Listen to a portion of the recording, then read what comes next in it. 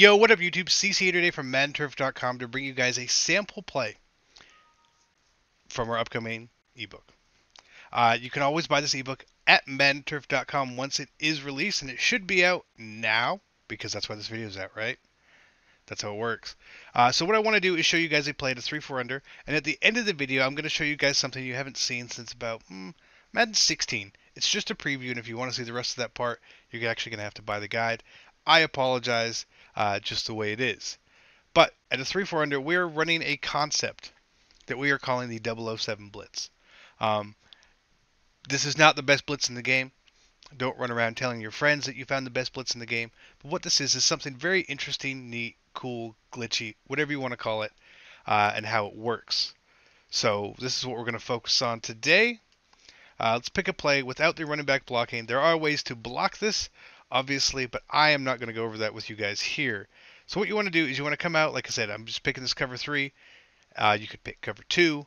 What you really want is these four people right here blocking on the line, right? And then you want to spy this linebacker, and you're going to scoot him out somewhere between over the left tackle and between your linebacker here. Somewhere like that is perfectly fine.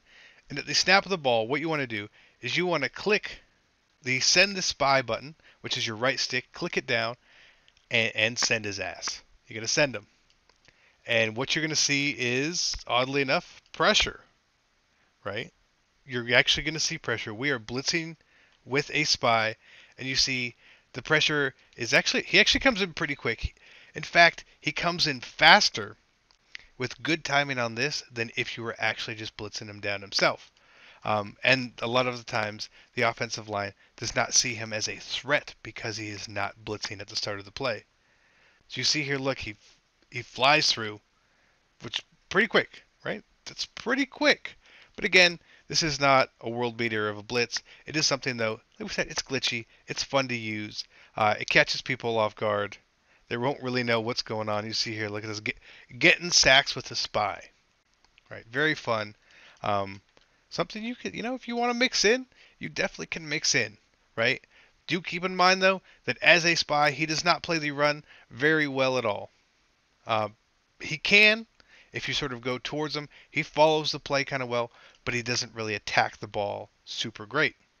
Uh, one thing you can also do, and be warned if you get him a little too close to the line, uh, you're actually going to get nano detected. It's not really going to happen here in practice mode, but if you are in a game and you do it, that's what happens.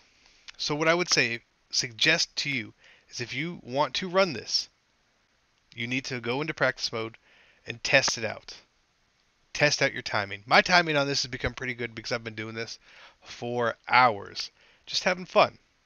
I enjoy this, right?